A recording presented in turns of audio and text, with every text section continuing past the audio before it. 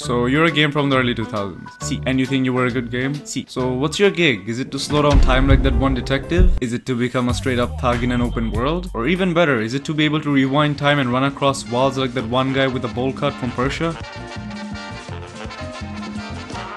Si.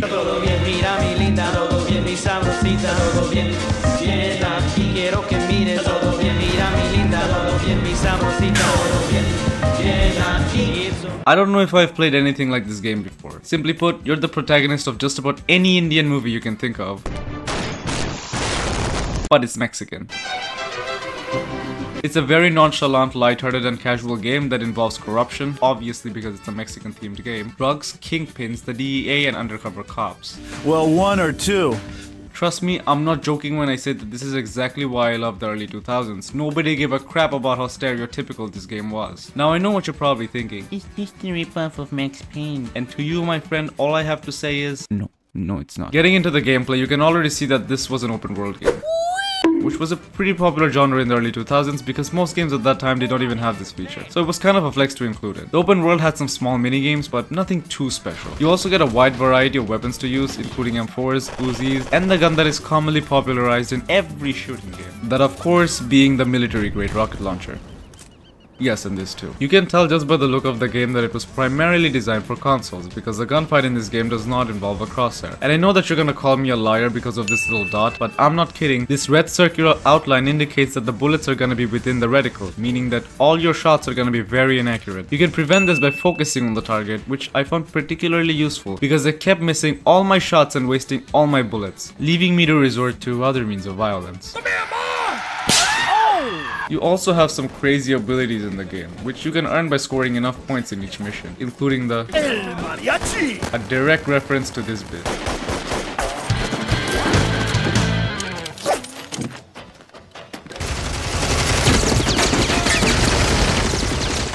And El Toro, where the character turns you into a bull.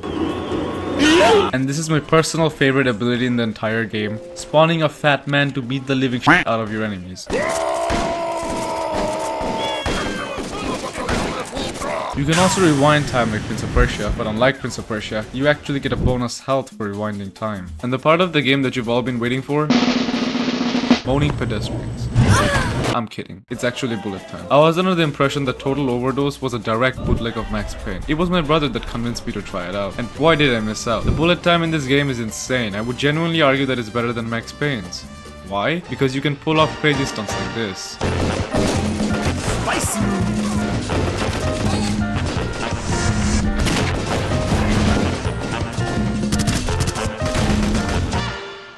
I'm sure you noticed these titles for killing in bullet time, but would you be surprised to know that every little combination you can think of in your kills shows up here? Kill out of a moving car? Check. Getting a double kill off a wall?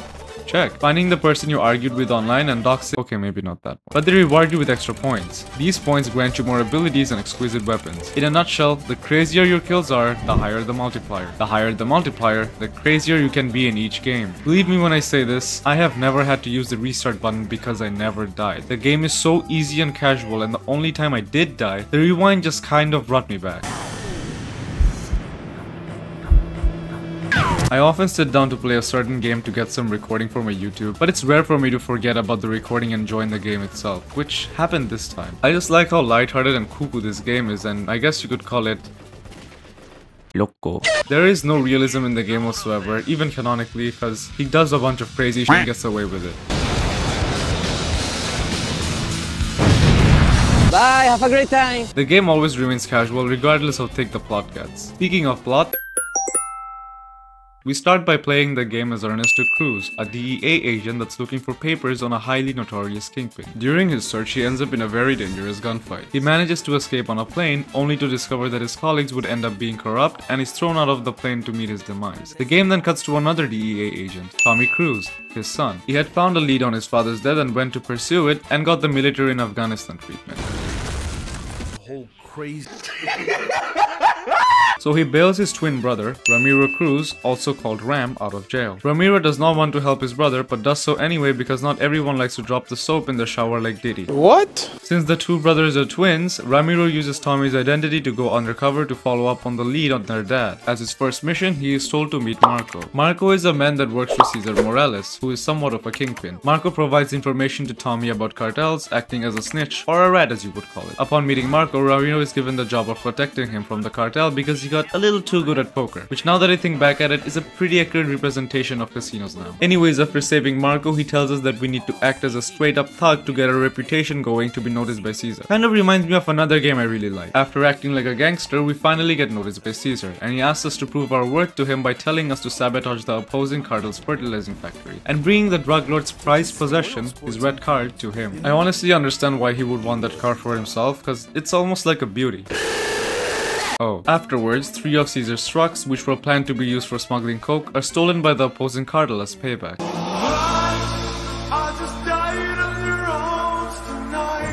So he tells Ramiro to bring those trucks back and to detonate a van filled with dynamite in the cartel ship to sink it as a message. After which Ramiro gets tired of working for his brother, but the Cesar's enforcer, Angel, overhears this. The plan was to ambush the coke with a large team led by agents Pearson and Johnson. Cesar asks Ramiro to protect the three trucks containing the goodies so they can be securely transported. But Ramiro is then told by his brother to follow the trucks to confirm the location of the ambush. And upon the DEA's arrival, Ramiro's cover is already blown.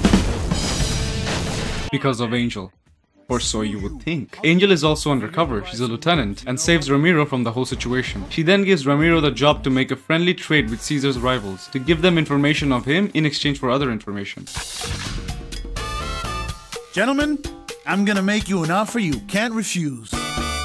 This information involves the higher up Cesar seems to be working under, and we are told by this person that the papers backing this claim up is kept in a secure safe in his bullring. So we go there, pull up the on his face and acquire the papers. The documents state a person named PM, which we later find out stands for Papa Muerte, who already knew about Ramiro, which he found out through one of his anonymous men that works inside the DEA. Knowing that Papa Muerte is somehow connected to his father's death, he goes to his lead, Elvis's car lot. This is where Ramiro notices that there is a lot of empty crates or coffins and weapons. To know more about it, he goes to Elvis's house, which is a small island. He ends up confronting him and Elvis tells him that it was requested by someone named General Montanes. He tries to kill Ramiro, but we end up going...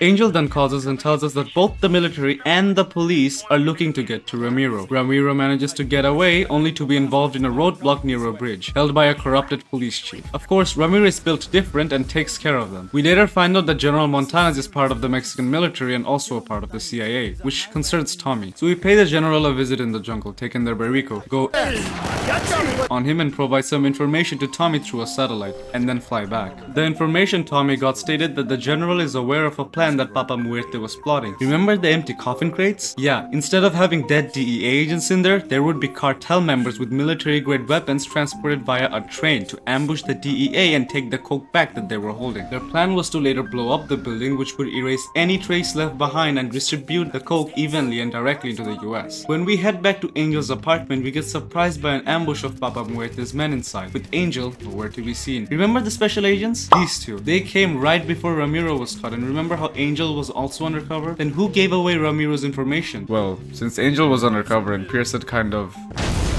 we can safely assume that it was Agent Johnson. Special Agent Johnson then doses Tommy and his colonel with a drug, leaving to die off an overdose. Tommy was smart enough to open the mic for Ramiro to hear so he could know what was going on. So now we have to cross the Mexican border while being wanted by the police on the island. But we built so we cross the border, enter the DEA's headquarters and provide our brother and the colonel with an adrenaline shot to save their lives. We also try to stop the bomb from exploding, messed it up the first time because we didn't know where to go and what to do, but we end up taking care of it later by placing the bomb in a train. We end up on the train with Johnson and Angel on it. She probably ended up here because she ruined Johnson's plans to get rid of Ramiro and helped him get away. The DEA notifies the military that a train containing a hundred ton of coke is being transported. Taking no chances, they decided to blow up the bridge that the train would be passing through. Oh no!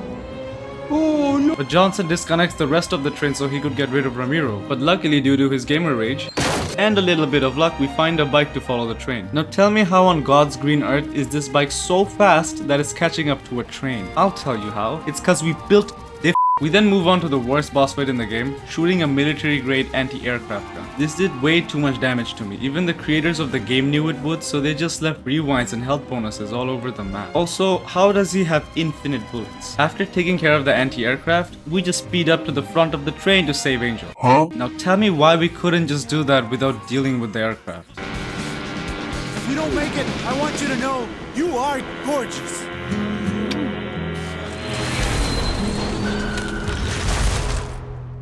And if we do make it, forget I ever did that. Gracias, Ramiro. That was breathtaking. Anyways, we take care of Angel, have a sweet heroic moment with her, and then just drive off. Johnson's hat just kind of flies by, implying he's dead. Or is he? Then the game just ends.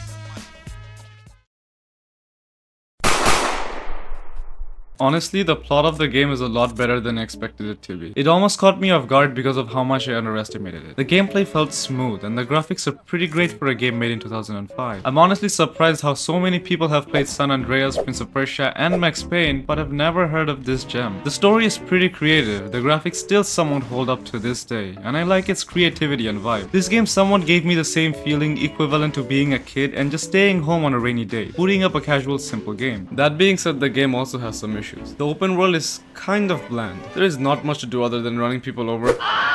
Playing the Day of the Dead, which is a mini game where people dressed in a skeleton costume try to kill you and having to wait for a long time between loading screens. Also did I mention that there is no map to see where I'm going? There are also a lot of cars driving around, but there are almost no motorbikes to steal. I only got to ride motorbikes twice. One of them involves the ending. But hey, at least there are cars I can drive, right?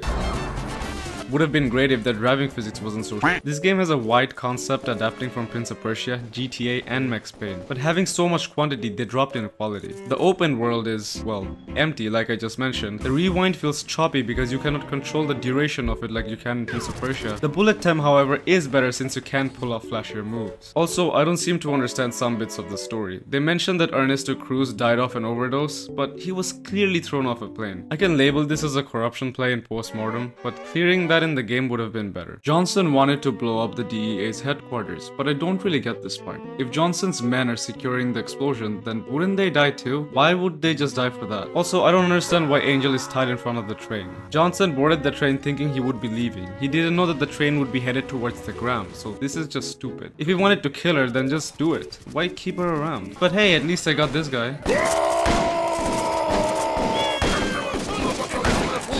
Deadline Games were actually in the process of producing Total Overdose 2, but because of this game, is Nigh, which I have played unfortunately, was so shit that they had to shut down. I'm surprised they didn't get sued for emotional distress. So we are never going to know what's ever gonna happen in Total Overdose 2, but I don't want to be nitpicky about it since it still is a pretty great game considering it was made in 2005. That being said, I'd rate this game a 6.5 out of 10. I can find myself playing this game if I have no internet, other than that, I don't think I'll ever play it again. If you're into retro games, then I suggest you check out this video video. And if you're more of a novel enjoyer, I highly recommend you watch this one.